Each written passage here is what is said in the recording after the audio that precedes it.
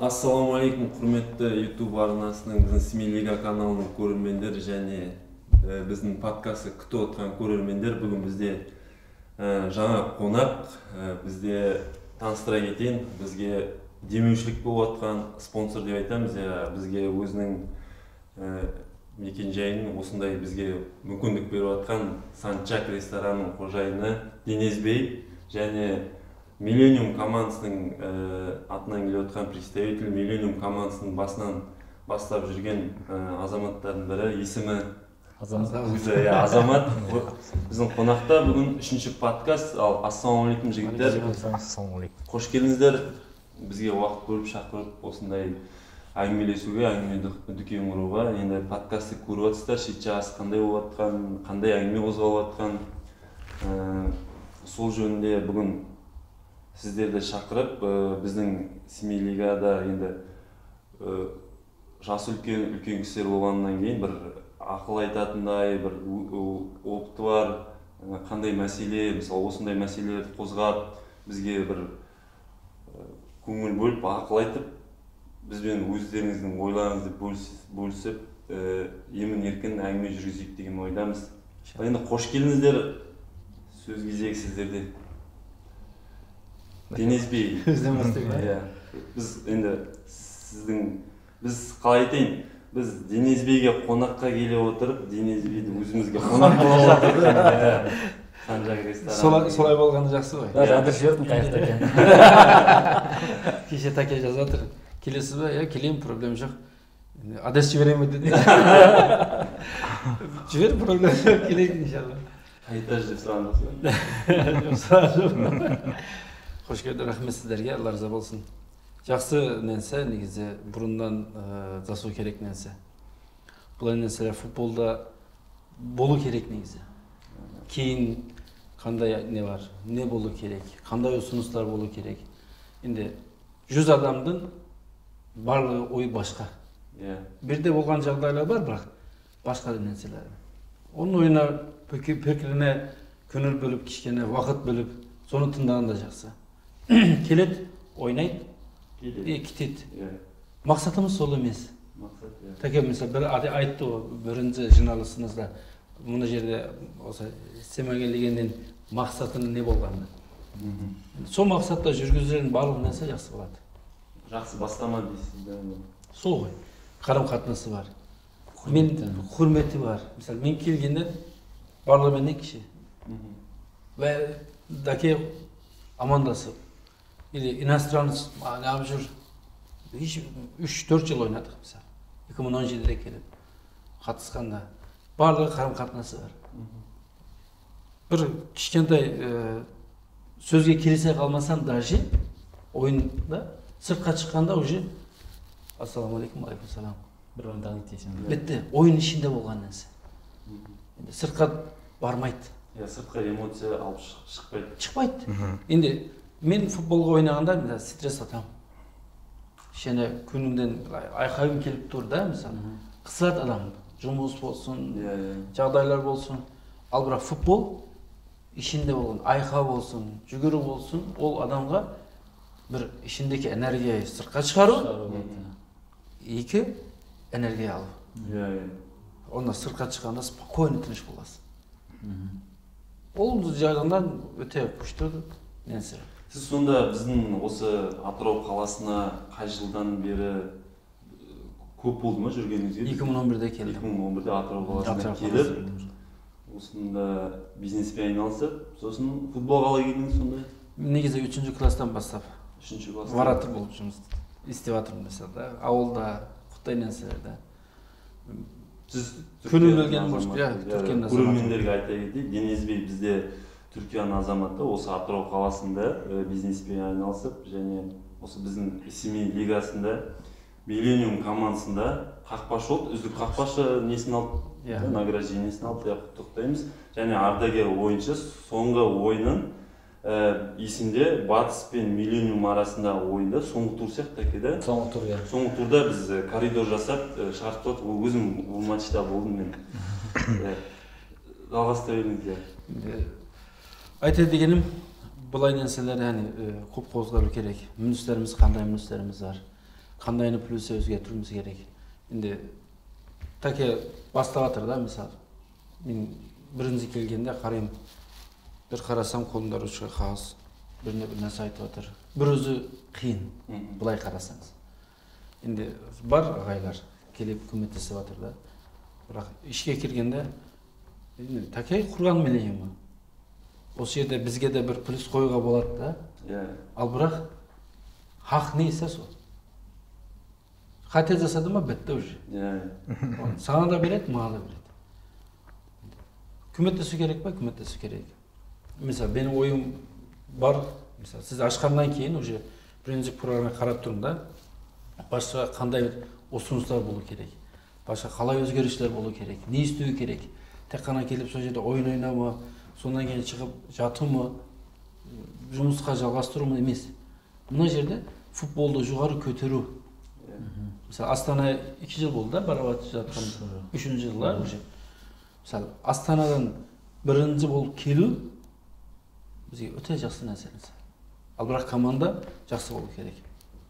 Ол команданы шығару сол жерге апару бәріне бір адамның артында болмау керек дегенім иә мысалы қанша мың команда бар ол командалардың ә, спонсорлары бар олардың бәріне кішкене қозғалу керек қозғалту керек олардың кішкене қолын салу керек ал былай болса мысалы астанада іздеп жатырмыз мысалы ютубтан или басқа жерден қарап жатырмыз да қарасаң миллениум или бірінші Сала. келген сала кетті мысалы одан кейін бірінші кеткен бізде ше Қыран. қырандар кетті мысалы қырандар кеткенде бізде осы уақытта жақсы ойнады ойлап тұрасың да жақсы ойнайды ал бірақ ана жерге барғанда қарасаң басқа командалар үлкендер жастар да үлкен адамдар енді оны қалай келіп жатыр сол жерде ойнаған адам ба ойнамаған адам ба ойнаған адам даже болса қарайсың профессионал кішкене опыты бар адамдар ал бізде тек қана воскресенье барамыз ойнаймыз шығамыз тренировка жоқ до конца мысалы бұл лига бастады ма бастағаннан бітуіне дейін до конца бірінші тренировка дұрыстап жасау керек Иә. түгел команда иә ал онда астанаға барғанда готовый бар конечно готовый бар дайын барасың барасың бәрін ұтасың келесің иә сол болу керек иә біздің көргеніміз бір сала дұрыстап да сал бізде ең такой тренировка Иә, қазір командалар қосылып жатыр ғой араларында андай тренировкасы бар мысалы тони кок сияқты бағанағы сала деген сияқты дина командаларында ана тренировкасы бар командалар енді сол да просто бізде. Иә кішкене ол да мәселе спонсор жағынан мен енді осы жерде айта кетейін. Ол командалардың спонсорлары бар спонсорлары бар жақсы нәтиже көрсетеді. Мен кейбір командаларды білемін. Ә, мысалы контейнер сияқты сосын тағы бір атын ұмытып қалып олар екі үш бала жиналып кредит алып жақсы көреді футболды ойнағысы келеді. Балдарын өзінің ауылының балдарын сүйреп ана неге футболға қатыстырғысы келеді.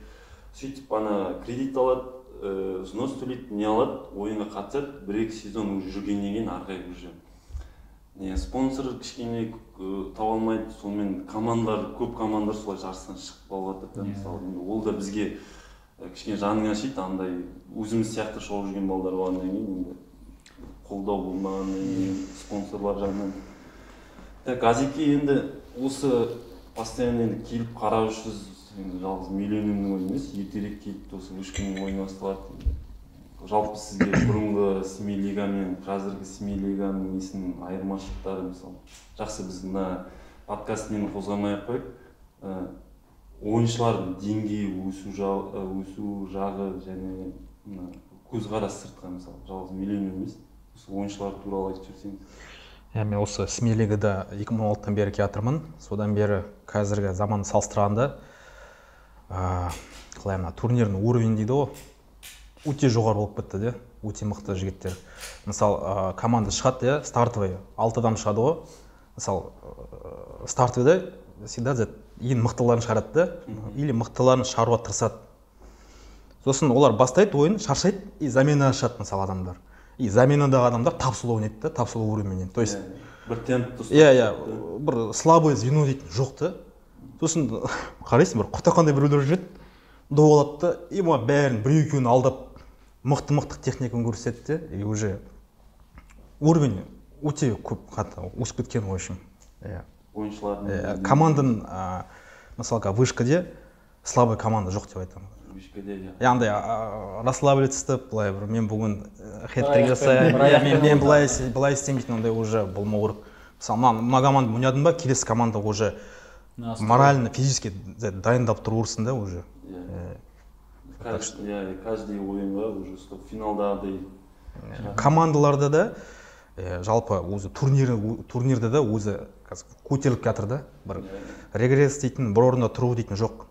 Барлық жақтан да а, в общем көтеріліп жатыр бәрі де.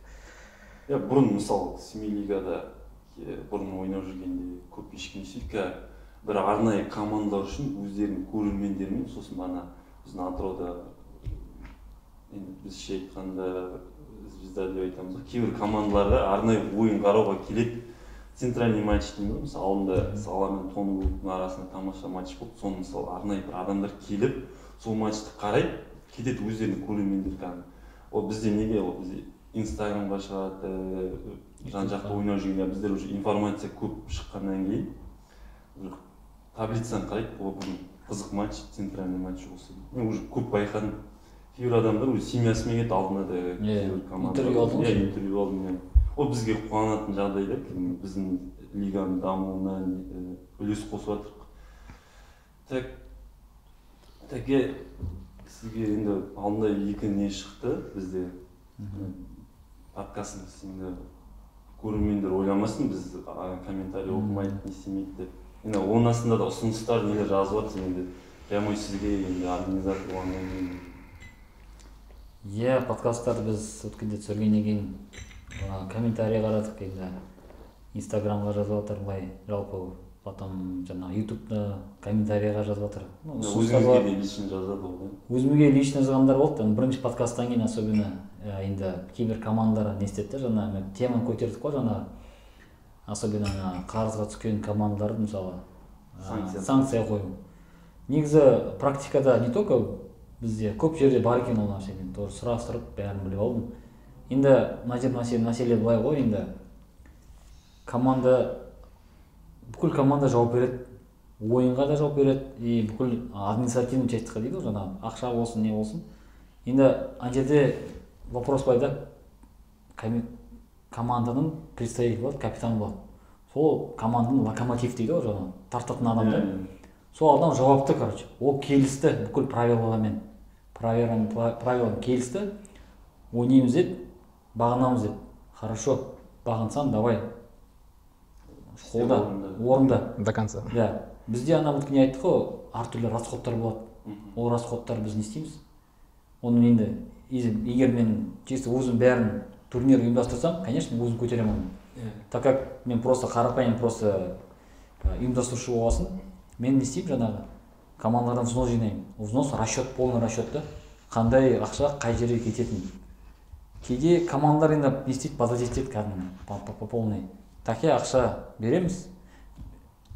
Осындай уақытқа дейін. Хорошо дейсің келісесің навстречу барасың түсінесің көп командалар бағана айтқандай қарапайым жиналған жігіттер енді спонсор жоқ командалар көп қой енді бізде Иә. скажем бізде только спонсор бар командалар санаулы да төртеу бесеу қалған он бес команда может былай өздері жинап не істеп жатыр да Иә, жаңағы иә. қосылып жатыр ойнап жатыр. Олар түсініп алады біз, біз всегда не істейміз жаңағы. Давай конечно біз саған көмектесеміз именно сол уақытын созамыз навстречу жүреміз бірақ сен тоже бізді не подводи. Иә. Неге? Потому что біз расчет бар да бізде. Мысалы неге біз үшінші турға дейін бүкіл расчет жасалыну керек деп айтамыз. Потому что біз ары қарай ол жеті тур қалады. Жоқ алты тур қалады. Алты турдың ішінде мен кубок алу керекпін медаль заказ беру керекпін аренда зак- заказ жабу керекпін да. Там не бар тағы да ыыы наградалар алу керекпін. Ол бәрі уақыт алатын нәрселер да. Кажется там бір аптаның ішінде жасалады деп. Жоқ бір апта жасалмайды. Именно осы қалған үш алты тур ма? Алты тур бір жарым ай ғой бір жарым айдың ішінде оны алыну керек та уақытында келу керек еще олар бәрі. Мысалы мен кубок астанадан аламын медаль алматыдан аламын мысалы да. Олар медаль көбінесе мен литой аламын да. Егер маған уақытында келмесе ақша түспесе мен уақытылы ана жаққа заказ бере алмаймын. Соответственно ол не? Опозданиемен келеді? Иә. Мен уже расчет жасаймын да. А мыналар бір ай жасайды на медаль. Еще келуі бар бір апта примерно. Примерно вот бір жарым- бір ай кетеді поэтому не істеймін мен жаңағы напрягать етпеймін да команда. Давай үшінші турға дейін маған жинап беріңдер. Нормальный срок та ол. Иә неужели сен үш апта ішінде даже какой біз скажем бір ай бұрын хабарлаймыз лига болады осындай уақытта. Взнос осындай взнос взносы осындай. Считай төрт апта плюс үш апта жеті апта екі ай да почти что. Екі айдың ішінде спокойно жинап тастауға болады да взносты. Ну кім у всех по разному болады ғой енді жалпы проблема у нас всегда сондай да. Или мынандай ситуация болады такие взнос бар. Ертең жіберемін дейді да. Хорошо жібер күтемін. Келеді да жаңағы келесің. Такие мынандай ситуация болып қалды анау мынау мынау жаңағы. Авария түсіп қалдым нейтемін десем жаңағы машина ремонтқа дейді сол жаққа кетіп қалды дейді. Дегенде ситуация болды болған жоқ болды. Қашан бересің е? Келесі апта точно и ол да келесі апта келесі апта келесі апта кете береді солай короче соған сеніп қаласың да. И потом не істеймін мен амалсыздан басқа жақтан или қарыз өзіміз қарызға кіреміз типа анау жабады ғой деп. И өзіміз қарыз береміз ағалардан сұрап там жігіттерден достарымнан сұрап или уже өзім қалтамнан шығару керек болдым да. Егер бар болса мен сол кезде. Не всегда да мысалы ситуация байланысты да жаңағы кейде бар кейде жоқ қой енді бәрі жұмыс а, зарплатаға жұмыс істейміз сол кезде енді не істейміз енді қалай жынданбайсың да ол кезде? По любому давление болады үстіме иә заказ беру керек ана істеу керек еще лига бар еще лигадан проблемалар бар. И каждый игрок келеді де үстіне сен такие мына жері мынандай правила былай бұзылды анау былай судья бүйтті сөйтті дегенде сен не ойлайсың да? Или анамен спорласасың ба? Или ақшаны ойлайсың ба? Жаңағы заказды? Или вообще кетесің ба сондай болады да короче. Ол- ондай нәрселер ешкім білмейді да просто. Оны мен білемін да ар жағын ешкім білмейді. Ар жағын білмейді именно сыртында болып жатқан нәрсені ешкім білмейді. Потому что бәрі нені көреді да футболды көреді только. Иә. а футболдың ар жағында не болып жатқанын ешкім білмейді да Иә. занавес дейді за занавес не болып жатқанын не білмейді. Жоқ жоқ мен алдында сен сияқты айтқанда біз қой ойынға келеміз ойнаймыз кетеміз болды. Бәрі тамаша сияқты да иә бәрі тамаша сияқты. Таке отырады сырттан көрінгенде жақсы ғой. иә сырттан. Ви- видео түсір видео иә, түсіріліп жатыр. Таке отыр. Мына жақта жігіттер жүр. Бәрі нормально все иә. э, ештеңе кухня- іште иә қиналғанын көре алмайсың мысалы таке ә, осы уақытқа дейін айтты да бір екі нәрселерді бөлісті былай естігенде ал білетін адам біледі ал барлық команда мә күшті кірдік ойнадық шықтық. Ар жақында болған сөйлеушілер ешкім білмейді. Иә иә. Сол- ешкім де келіп ей таке бүгін не болды? Бірдеңе бар ма? Үйлесіп жатыр ма? Үйлескен жоқ па? Айтқан жоқ. Просто келеді ойнап кетеді. Біздер де жасадық yani, келдік. Азыр келдім иә келе жатырмын бардық машина кіресің ойнайсың шығасың амандасасың таке қалайсың? Жақсы ма? Иә жақсы все судьялармен ұрысасың. Иә. Судьялар и жаман и неге неге салмайсың былай былай әңгімелер болады. Сонда сіз машина кетті кетесің миллионер тек жалғыз миллионерде ойнадыңыз ғой Жалғыз неше сезон ойнадыңыз? Үш сезон үш или төрт. Төрт төрт сезон ойнадым. Төрт сезон. А неге жалғастырмасқа неге қойып кеттіңіз?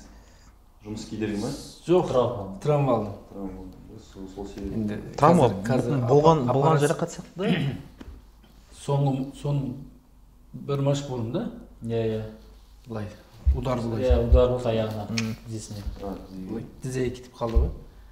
Сосын ойладым менес кетіп қалған анау мынау оказывается алматыға барғанда еще ішінде сүйек сынып қалған. Мәссаған. Иә.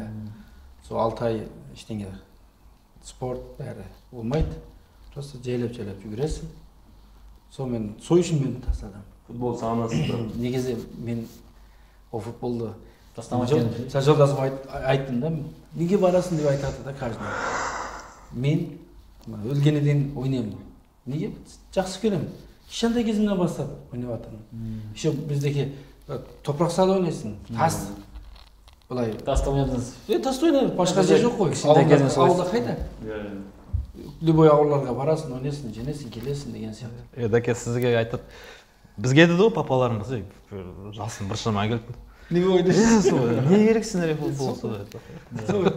балам даже айтады «Ба- бір воскресенье да мысалы біздер жұмыс жасап жатырмыз выходной воскресенье сол күні матч болғанда екі күн бұрын айтамын воскресенье мына уақытта мына уақытта бос емеспін соған байланысты отырыңдар балаларға айтамын әкелем мына жерге он екіде болса жақсы он екіде завтра кешеді ана мына он екіде барамын бірге дейін ойнаймын бірде келемін мына так жақсы кеттік ал бірақ жақсы көретін нәрсе. Енді барлық командада ойнаған адамдардың барлығы сол ғой. Иә иә. Жақсы көргеннен ойнап жатыр ал бірақ минустар бар плюстар бар айтқаным сияқты. Оларды орнына қою үшін де мысалы такеннің артында жақсы бір команда болу керек. Мен солай ойлап тұрмын. Мысалы төрт сезон көрдім қарадым. Қарым қатынасы болсын тәрбие болсын енді бір біріне сыйластық болсын. Барлығы бар. Просто конкретный ма? Конкретный басқа жерде бар ма? Жоқ. Басқа ауылдарда басқа қалаларда болуы мүмкін. Бірақ біздікі сияқты емес. Орда башқа жарады қолда сындырады деген сияқты. Иә ал аллаға шүкір қатты травма болған жоқ осы уақытқа дейін. Бір менің травма болды. Мені футболдан алып қойды ана қай команда білмеймін сол бала көріп тұрсың да настроение түсіп кетті да уже баса алмай жатырмын келді кешіріңіз аға деді енді ре- рефлекс қой рикста болған нәрсе былай тарта алмады ғой аяғын көріп отырмын тарта алмады барса по инерция кетіп қалды дейді Иә. инерциямен о, даже мысалы ойнап шыға алмайсың шықсаң даже біткеннен кейін ажа айтады кешіріңіз иә бізде қолда сынды баста сынды ойнағанда солай ғой енді былай қарасаңыз. футбол енді футбол сондай нәрсе көріп отырсың профессионал адамдар ойлайсың да аяқ сынамай бірақ көріп отырсың кейбіреулер былай кетеді құдай сақтасын аллаға шүкір сондай случайлар болған жоқ иә құдай травмалар болады сізде ондай болған жоқ травма аллаға шүкір болған жоқ деп ойнамаймын мен бірақ ушибтан артық болмаған онда енді травма деген өте қиын нәрсе по идее. Мен өзім екі травма болды менде связка разрыв болды мениск разрыв болды енді. мықты мықты травмалар. Иә мықты мықты травмалар. Иә енді қиын негізі айтсаң енді уже содан кейін қорқып басты ойнайсың да жаңа. Солай. Қорқ қорқасың по любому тағы да алып қаласың ана сезген ал- жаңағы ауырған несін сезесің ғой. Қайтып сезгің келмейді да ондай. Иә, уже ана сақ емес вообще барғың келмейтін да шығар да бармайсың. Мен басында сол травмадан кейін біраз ойнадым. Аяғыма нені тағып ана специальный не бар ана Иә. тағы тартатын. Соңында тоже ойнай алмадым. Нет дедім таста дедім қойшы дедім ол мениск кетті связка кетеді уже аяғы уже бұрынғыдай болмайды потом вес кетті вес вес та кетті. Болмайды бәрі опасно. Негізі оны ана кімдер бізде нормально опять формаға келу үшін травмадан кейін мысалы бізде любительдерде да мхм профессионалдар сияқты подход болу керек та иә иә. егер ондай подход болмаса қиын қиын. жалғастырмасын өте қиын бірақ. Оны нереально сила воля керек мен көргенде мен сила воля жоқ та менде. Сила иә сол ғой. сила воля жоқ дейсің Незвей, нема сіз команда енді өзіңіз пока енді ой жарақатқа байланысты ойнамайсыз? Енді бір хотя алдағы уақытта команда шығарып или болмаса бір командаға спонсор болу дейтін ойда. жоқ команда шығарып келеміз команда бар ғой. Жоқ мысалы өзіңіз спонсор. болса жетеді Иә, сондай бір ойда жүру мүмкінсіз ба мысалы мен өзім команда осы лигада көргім келеді или осы командаға мен спонсор болып осы жігіттерді көтерейін деген бір ой жоспар ондай. Енді біз өткен жыл такемен осы сол жөнінен сөйлестік бір хотя бы түрік командасы шығарайық. Түрік командасы иә осыны ішіне қояйық деген ой болды. Бірақ кісілер бар кішкене жиналды одан кейін басқа болмайды. Ана мына кішкене. Түсініксіз или до конца айта алмадық па или жоқ ол біз жақтан болғанда семей лига жағынан ба әлде сіздер жақтан? Біз жақтан. сіз иә жақтан өздері ұйымдастыру жағынан өздері мысалы команда шығар- шығарамыз деп ойлаған негізі дәке адам да таптым бар. Мысалы Иә. бір команда шығатын адам бар. Бірақ енді ііі білмегені үшін ғой енді кішкене адам қорқып алғандар бар. Мен келсем аяқ сындыра ма бірдеңе бола ма Иә, деген сияқты. солардан кейін админа болды Иә. келген жоқ.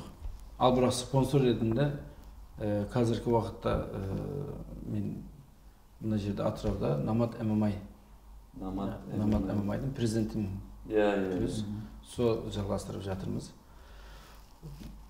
ол да бар бірақ футболды мен жақсы көремін мен былайша бір команда спонсор болып соны көтеруге келіп тұрмын қазіргі жағдай қиын білесіз карантинға байланысты ал алға уақытта бұйырса иншалла болады Иә. болсам даже мысалы миллениумды тастай алмаймын иә иә а миллениумге спонсор бар айтып отырмын сол дәке жалпы ыыы дедік қой көп ақша керек емес бізге.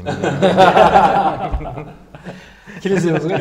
Келісеміз иә бір екі ужин бір екі ужин десейші мен мен неге миллениум мысалы ә, сол таке пригласить еткеннен кейін басқа командалар да содан кейін келіп айтты бізге де келіп бізде ойна деп. Енді ә, біз işte мен тұрған городокта қарасам ойнап жатыр да поле. Бар. Таке сол жерде тренировка жасап жатыр и таке не істеп жатсың «И, тренировкаға келдік анау Орын бар ма? жұмыстан келдіңіз мен жұмыстан келдім үйге кешкі үйде жатуға келдім мен былай демалуға келіп тұрмын да орын бар ма десем иә бар келейін ба кел деді сосын бардым да киімдерім бар біз ә, мына жақта екі мың он төрт пе екі мың как раз вратарь болған жоқ сол екі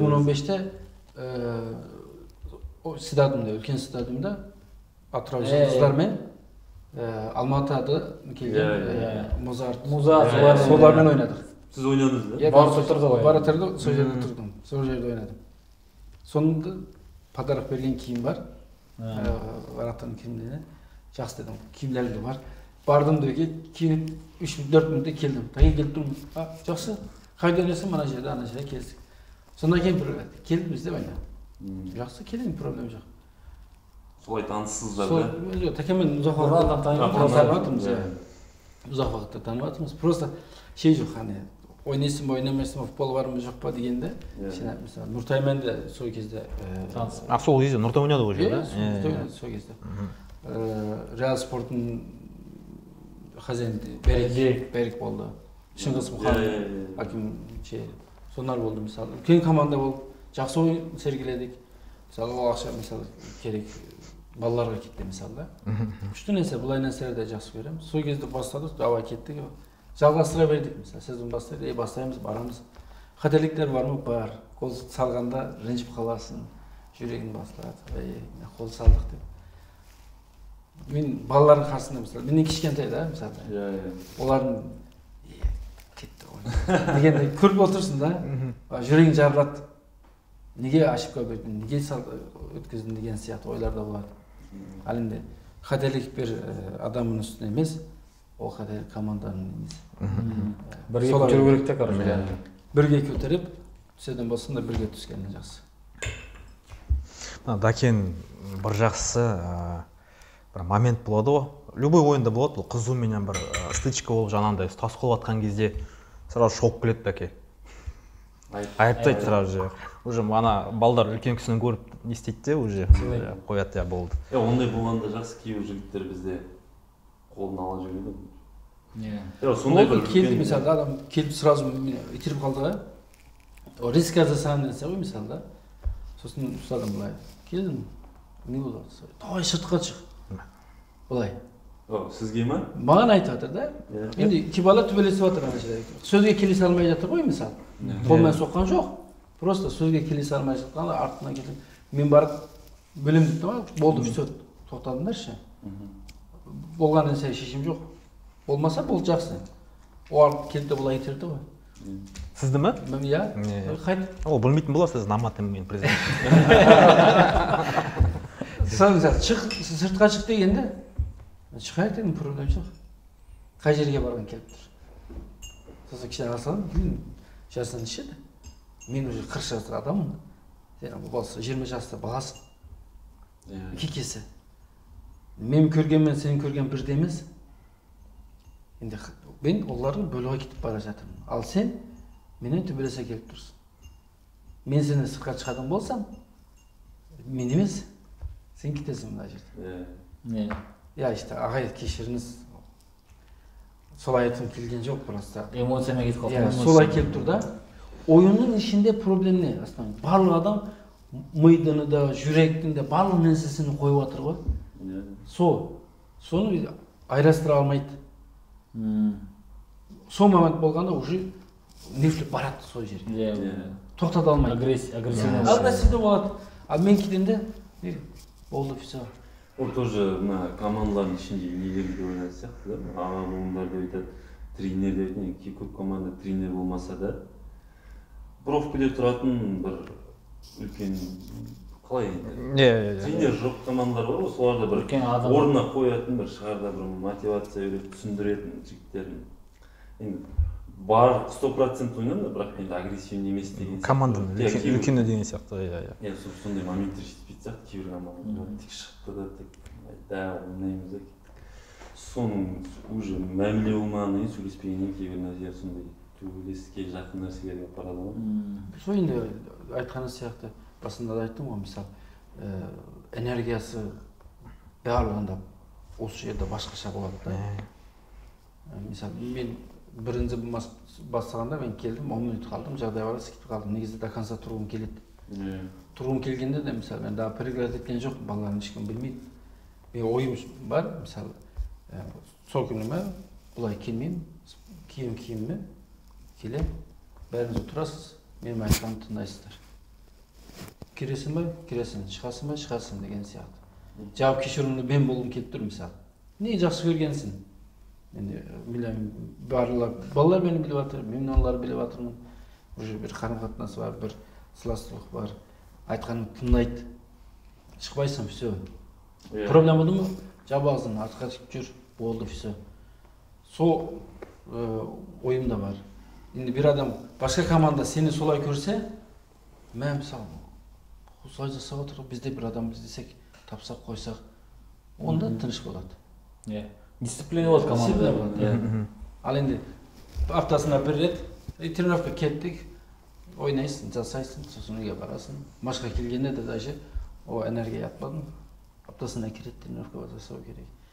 көп энергия Ең азынан ең азынан ең азынан сол жерде шығару керек матчқа келгенде спокойно тыныш ана ұтуымыз керек болды все ешкімге ренжітпей иә ешкімге проблема болмай спокойно ұтып шығу керек енді қарап жатрсың келеді алты бала жеті бала да мысалы он баламен келеді басында адам жоқ иә өздері өздеріне и даже өздеріне бір біріне сөзге келісе алмай жатыр ол сол үшін қиын нәрселер ол үшін мысалы жиырма командамыз жиырма командадан жиырма адам болса профессионал лига сияқты бізде қазіргі ә, азат айтты ғой жоғары дәрежеде қазір енді бірінші қатысқанда онда профессионал болған жоқ. Ошибкалар көрмей қалады. Судьялар солай еді бұрын. Ал қазір? Құдай ошибкаға да қарап жатыр мысалы. И Иә. жоғары дәрежеге көтерілді аллаға шүкір. Сіз соңғы рет тонологта қашан болдыңыз? Соңғы рет қашан келдіңіз тонологқа салонмен ойнағанда ол салонмен ойнағанда бірінші алдындағы турда ма келдіңіз ба сіз Иә. жоғарыда болдыңыз жоғары кетеген жоқпын қайда қайдан төмен төменге сразу баланың жанына даке сіз ойлаған шығарсыз салаға біз енді ойынмен ұтылып қалдық біз сала сала енді біз қалай еді иә по игре ұтып тастады бізді ойлаған шығарсыз мына веление слава деп мен қалған екі ойынға бардым нормальный команда біз чемпион болуға төрт сезондыр қатысып жатырмын да екінші орынмен үшінші орынмен жалғастырып бірінші орын алған жоқпыз мысалы менің ошибкамдан бірінші орын кетті білемін қай уақытта ол неге травма- мен бөлеміз деші травма болған кезде мысалы соңғы матчта ұтсақ бітті все біз біріншіміз қай матч ол Сал- Динамо салонмен матчы ойнадық па? жоқ салонмен ойнадық да салам саламмен ойнағанда а иә есіме түсті иә иә Е, ол кезде екінші орын ойнап отыр по-моему ол кезде былтыр ойнаған матч па жоқ жоқ жоқ жоқ ол по моему шанс болған сияқты иә бір бір нөл бір нөл ұтып жатырдық біз бір нөл ұтып жатырдық иә екі- екіде бір кетті ғой бізде сол кезде біз бірінші орын алуымыз керек еді негізі жоқ сала емес шығар жоқ жоқ вион болар ол иә Вион Вион. Сарылар- сарылар да үште екі болды үште екі болды иә, есімде иә иә иә сол сол сезон сол матч именно сол как раз сол соңғы тур болып тұр ғой. Золотой матч болып жатыр да. Бізге тек победа керек болды жеңіс керек болды бізге. И сол. Ұтылып қалып тұрдық қой сол бәрі серега жүрді ма сол кезде? Жоқ жоқ серега болған жоқ. кейін Валя қосылды валя валя валя андрей сол матчты қарадым. валя. Кім? Андрей. Сосын артур болды артта. Артур да ринат болған жоқ қой да? Білмейсің галимов ринат болды ма? Ринат барды иә. Барды нормально нормально нормальный состав болды жоқ команда жақсы Жақсы болды команда. бізде уақытша 15 адам келеді. Қарасаң дайын тұрған команда ғой. Кейбір уақытта жұмысқа байланысты 10 адам 12 адам болады. Басқа командаларда келсе алты адам келіп матчқа кіріп алты адаммен шыққанда алты адам емес. Ал жақсы нәрсе бірақ. Ал бізде тренировка кішкене слабый болып тұр мен көргенім. Ә, балалардың кішкене енді үш адам бойында емес ол. Айтып жатырмын ғой футбол деген команда. Үш адам бір адам обязательно гол салу керек емес. Артта екі адам да гол салады. Иә просто бір бірінен ошибкасына жабатын болса онда жақсы команда болады. Тек мына томагөктің томагөк аренаның хозяинынан үлкен кісі ма қандай кісі? Иә не кім? Тұрар деген кісі. Тұрар дейтін жоқ. үлкен кісі енді бізден по любому үлкен ғой ол. үлкен. Жоқ көп айтып отыр да онда неден? Поля ма? поляны айтып отыр иә покрытие. Иә вот немен администратормен сөйлестім жалғабай деген кісімен негізі вот астана ана сезоннан бері айтып жатыр ол негізі иә мен уже екі көктемде айтып бастадым жаңағы жәке мына поляны ауыстыратын деген сияқты травма опасный бізден кейін сосын лф ойнады ғой енді лф та тоже бір бірнеше жігіт травма алды естуім бар да.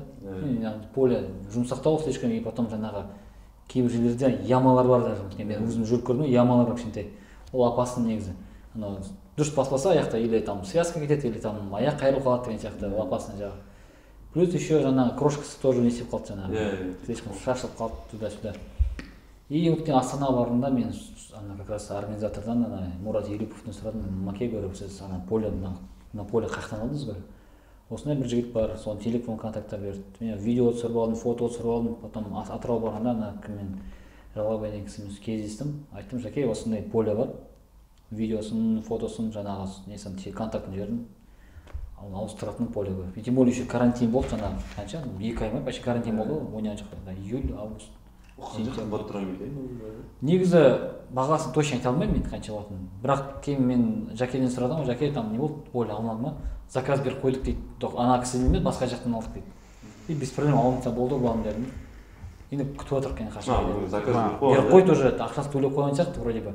Енді біз күтіп отырмық сізде негізі бар да осындай газон сататын не сататын жер енді күрна мына жері специфический ғой мына негізі.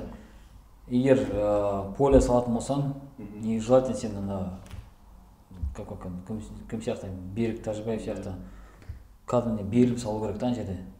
Кәдімгі мықты махаббатпен деген сияқты. М, как называется? Ықыласпен салу керек та ана жерде я не говорю что тоныкөк ықыласпен салмайды салып жатқан шығар может быть. Просто ана жерде специалисттер шақыру керек та білетін адам шақыру керек. қандай поле керек. деген сияқты қандай сантиметр болу керек қандай крошка болу керек иә. деген сияқты. Соның бәрін по идее оның бәрін істейтін жаңағы специалист шақыру. Мен специалист деп айта алмаймын бірақ қалада бар специалисттер по идее. Мысалы ертең травма опасный болмау үшін. Ол несі? Жақсы газон алсаң соответственно саған клиенттер көп керек иә иә и, и так то көп көп қой но еще лучше болса тіпті жақсы да и барлық жағынан жаңағы условия болады да. Жаңағы ол жөнінде уже сөйлесіп мен негізі көп бағана футболистерге айт- екі екінің бірінің айтатын әңгімесі сол газон газон несі иә негізі біз енді инфраструктура темасын по идее біз өткенде мен көтеріп жүрмін ғой атырауда енді ең қиын жаңағы вопрос ол инфраструктура жаңағы. Жоқ бізде нормальный поле. Енді бір санаулы может поле бар шығар. Аз. Аз даже. Салу керек қой енді салу керек. Ол үшін бағана даже бірінші подкастта да. айттым даже. Иә неге істемеске жасалмасқа сол негізі айттым мен и тағы да айтамын постоянно мен. Көп жерде көтеремін бұл сұрақты. Мысалы да неге біздің атыраудан шықпайды деген сияқты нелер. Иә. Ыыы кәсіпкерлер неге жасамайды деген сияқты. Негізі егер маған негізі өзіме бірнеше рет хабарласты бір әртүрлі жігіттер. Мен аттарын есімде жоқ. Просто звондайды да тимурсыз ба тимур иә сіз осындай поле жағынан біз салайын деп едік дейді да. Егер поле салсақ біз лига алып келе аласыз ба? Алып келемін дедім да. Без проблем бірақ бізде біз пока ойнайтын пока зеленый газон дедім бірақ ну конечно алдағы уақытта планда бар футзалға өту тоже футзал жасау и зеленый ана как ЛФ сияқты Иә. соларға ұқсап жаңағы тоже ЛФ та жаңағы газон да болсын и ЛФ та фу футзал да болсын деп. Сол үшін енді ұсыныстар келіп жатыр әртүрлі. Бірақ ешқандай не жоқ та пока движение жоқ көрмеймін көрдім ана неде салынды жаңағы береке береке ма? Ол жаққа барып көрмедім не салынды дейсің салынды мен өткен барып келдім даже. Ол Шөп па? жоқ ол футзал. Шуп па жоқ береке ма береке салынды салынды. Жақсы әдемі салған күшті полисің прям жақсы салған молодцы бірақ арендасы қымбаттау енді. Қымбаттау, иә. иә. Ол жақта өткізейік десек тоже ойлаймын да бір жағынан алыс. Ну алыс болған это не проблема бар ғой. Егер жарыс өткізсең любой команда келеді. Келеді футзалға жарыс өткізейін. Футзал. Футзалға жасауға негізі. Анда бізде подкасттың астына жазған өзі семилегальный фишкасы ол. Иә иә көрдім счет иә. Негізі пока что біз не бізде просто планда Иә, то есть иә. и счетте жасау и футзал жасау. Что футзал ойна- ойнағысы келетін адамдар тоже көп по идее. Негізі смелига сол бесте бес басталды ғой сол иә футзалдан басталды по идее иә поэтому жаңағы жан жақты бол- болған жақсы тоже да? То не только счетте и футзалда может кубок ұйымдастыруға болады мысалы в будущем да какой-то не знаю Может, кубок кубок санжак деген сияқты таке дайын тұрсыз ба Иә. любой кубок қой за ваши деньги. Негізі жалпы айтқаныңыз дұрыс жер жақсы болса ол ойында мықты болады. Иә. Иә. жоқ қаланың сырты болса да даже да? Нормальный бір инфраструктура салсаң Иә. адам любой команда даже арендаға келеді потому что бізде во первых поле аз и нормальный условиясы бар полесі тоже аз. Жоқ десек те болады мысалы. Бар болған сол Бол- тоныкоп болғандар да даже сөзін бөлейін окей. Аха. болғандар да кішкентай балаларға енді тренировка жасау үшін аренда беріп қойған да. Иә. Кіші қытай балаларға көңіл бөлген да былай.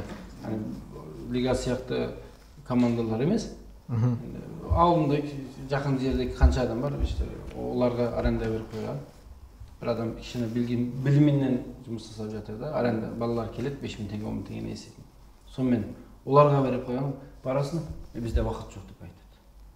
Осы уақытта бере алмай жатырмын деп сондай именно ол лигалар үшін бір жақсы бір поле салынса онда тек қана сол үшін. Астанада біз өткен ойнаған жігіттер ойнады ғой жаңағы астана ә, сайран арена. Сразу екі поле болған вообще күшті нәрсе да. Күшті иә. Ол же прям прям на обычном классе салған да. сіз барып жоқ жоқ жоқ. неден бірақ тоже ғой видеодан да иә көрген бөлек видеодан көрген бөлек та. Көзбен көрген бөлек. Еще ана біз мына тұр ол зал да? Зал иә футзал. Ол жақта постоянно ана матчтар ойналады жаңағы Иә. чемпионат казахстана анау мынау раздевалка? Аста раздевалка? Кәдімгі кәдімгі күшті жасалған душы бар бүкіл солай жасау керек солай жасау керек кіргенде де шыққанда да адамға ыңғайлы болу керек. Иә. Иә. бізге ыңғайлы болған нәрсе сол жерде барлығы жақсы болады да. Иә. Ыңғайсыз и болса клиенттер болады конечно мына жағында төрт раздевалка мына жақта төрт раздевалка. Вообще мықты. Шикарно. Душы бар еще үсті не? Тамақ ішетін иә столовый бар жоғарыда еще тамақ ішкенде де ол не футбол қарап футбол алсаң ойнап отырасың былай Стол. негізі сондай поле біздің атырауда салынатын болса спрос болады менде. Конечно болады иә. болады. Бізде аш да просто адамдар. Бас, бірінші сөз бірінші сен сол көтерген сияқтысың да сол затты Иә, көтеріп Иә, мен айттым мен са- өзім ойымда айттым. Ана андай заттар салғанша сол спортзал салынбайды ма? Содан да ақша көп келеді деген сияқты. Жоқ иә мен ол жерде өзім қарадым бірақ ойым анық анық жете салмаған сияқтымын бір. Мен просто айтып отқаным да сто нелер көп қой сто ресторан санжактан басқа деп. Жоқ жоқ жоқ емес бар. Бар ресторан көп мен кәсіпкерлер де көп мысалы. Кәсіпкерлер көп, иә. бір ағамыз бар біздің мысалы өткенде бір ііі отырғанда бір әңгіме айтылды сол поле салайын деп жатыр деп айтты. Да қазір турцияда жүр мен күтіп жатырмын негізі жалпы келгенде уже сол көтеру теманы мен көтеремін оған сияқты поле салатын болсаң сал сал если жоқ мына жақтағы сияқты құдай бір нәрсе вообще жақындама деймін вообще болмайды ғой енді ал турциядегі сияқты ол жерден специалист алып келсең дұрыстап жасасаң о осы уақытта пайда да түседі. Пайда. Мына жерде атыратын мына жігіттерге де жақсы болады деп айтамын. Мысалы тегін пайда сияқты да қараңғы не емес қой сто так сто кафе сен біреу бизнес газон иә мысалы да газон салып тастағанның өзінде де әр кетте свет пен суға ақша сұрайды ары қарай не ол? Ары қарай сен екі сағатыңды балдарға бер ай сайын болатын білгің бар. Бос уақытмен ешкім келмей қалды деп айтатындай болмайды. Дым қиын жоқ деймін да соны мысалы толтырып нең сала бергенше бір үлкен үстелдің құлағына жетпей жатқан бар. Так енді бір қорытындылап жіберейік осы біздің үшінші подкастымызды подкаст қалай ұнап жатыр ма сіздерге? Қарадыңыз ғой да подкасттарды қарадым қарадым. Лайк бастыңыздар ма колокольчик лайк басып комментарий сұрап аламыз. Иә ал біздің осы бүгінгі подкастты бір шағын кішкене қорытындылап өздеріңіздің ойларыңызды мен айтатын ыстық лебіздеріңіз болса айтып көрермендерге айтатын шамалы өздеріңіздің ойларыңыз болса айтып осы бүгінгі подкастты аяқтай жіберейік. Денисбек өзіңізден бастайық жасын енді айтатын сөзім көп негізі былайша қарасам уақыт жетпейді оған. Арнайы айта- айтатын сөздер керек қой негізі Иә. енді бірінші ассамблеяда ойнаған командаларға сәттілік тілеймін жақсы ойын болып жатыр енді тек менің ә, сол жерде айтатыным полияның ішінде ә, қалсын қалсын ол ауызбіршілік болсын бір біріне қарым қатынасы болсын ағасы інісі кішкентай үлкені сол поляда сыйластықпен қалсын кешірімді болу керек. Кешірімді болған адам жоғары көтеруге дайын көтере алады. Ал кешірім болмаған адам ол по любому жоғары көтере алмайды. Мен тек айтатыным мына командалардың барлығына іште полияда қалсын қателеріне қарасын қайда қате жасадық неге солай болды? Енді бұлар істесе жетеді. Жақсы жоғары дәрежеге көтеріледі иншалла. Сол жерде қалғаны басқа айтарым жоқ. Былайша айтсам иә дәкемен келісемін жаңағы сол айқай шу сол польда қалады бәрі. Сол сыртына шығармау керек бізде баяғыда үлкен футбол ойнағанда ерлан дейтін бізде защитник болды ол бізден үлкен. Айқайлайды бәрімізге айқайлайды. Ұрсады кәдімгідей. Артта тұрып алып последний минутта ұрсады. Ойын бітеді ма? Бәріне қол беріп шығады осы жерде қалды деп. Осы жерде қалады все сыртқа шығармаймыз деп. Сондай болу керек неге десең көбінесе жаңағы қырылысып жатады туылысып жатады бір бірін таниды. Иә. Иә бір бірін таниды. То есть получается олар келеді амандасады. «О, қалайсың қалайсың? Ойынды бастайды қызады. Бір бірімен ұрысады не істейді. Сосын барып шығады да қайтып құшақтасады иә. Дұрыс емес деп ойлаймын Ли- либо болмасын либо жақсы болып қалды ыстықпенен сол жерде қалады в общем бір біріне ашу жаңағы сыртына шығарып шығайық жаңағыдай айтқандай сияқты. Ондай болмасын. Иә жаңа ә, смелигі айт- жөнінде айтатын болсақ ә, өте дұрыс жолда жатыр деймін. Мысалы ертең бұйыртса қалай еді? Ә, басқа қалаларда франшизалар ашылсын деп. Бұйыртса иә ма? иә иә. иә соған тілектеспін. Подкаст жөнінде әсеке бастама жақсы. Иә. Керек нәрсе тоже мына чемпионатқа. Сол жаңа айтып жатрсың ғой көп идеяларың ойларың көп негізі. Соған жайлап жете бер қалай адам бірдеме бастағанда по любому артқа тартатындар болады. Ей неге керек деген сияқты. Ақыл айтатындар болады тағы да не істейтіндер болады жаңағы білгіштер иә соны тыңдап тек керегін алып керек еместерін есеп тастап фильтровать етіп. Иә фильтровать етіп иә өзінікін жүре бер дұрыс жолда жатсын главное желание ғой сенде желание ұрып тұр мен сөйтіп жаңағы не істеп жатыр маған басқа подкаст деген сияқты сол. Иә іске сәт сол не айтайын тағы да рахмет шақырғандарыңызға. Рахмет. Тәке енді келген қонақтарға рахмет айтамын. Жақсы әңгіме болды енді бұйыртса бәріне тілейтінім енді бәрі сыйластық бір бірін жаңағы бір бірін құрметтеу. Енді осы құрмет деген сөз менің аузымнан шықпайды постоянно сол мен. Может быть девиз деп айтуға болады маған. Енді потом бір бәріміз бір елде тұрамыз. Бәріміз қазақ болса да орыс болса да бәрі қазақстан мемлекетінің азаматымыз да. Бір бірімен ақ қояйық бір бірімізді сыйласайық үлкен жаңағы дәке айтып жатқан кіші үлкенге үлкен кішіге жаңағы жаңағы құрметпен қарасын деген сияқты. Иә, азеке айтқандай жаңағы поляда қалсын бәрі. Сол негізі ең дұрыс нәрселер да енді не деймін басқа? Рахмет сіздерге. Уақыттарын бөліп иә. Асеке саған рахмет. Осындай подкаст жүргізіп так ә, көп көп рахмет. Ал енді құрметті біздің көрермендер ә, бізде бүгін қонақта болған денисбек және азамат миллениум командасының представителі. Сіздерге сіздерге айтарым лайк басып ә, комментарий жазып ә, өздеріңіз тағы да ойларыңыз идеяларыңыз болса бізге осы комментарий жазып қалдырып кетіңіз. Ә, біз осымен подкастымызды аяқтаймыз. Денисбек азамат көп көп рахмет. сіздерге. Сіздерге рахмет. Сізге де рахмет.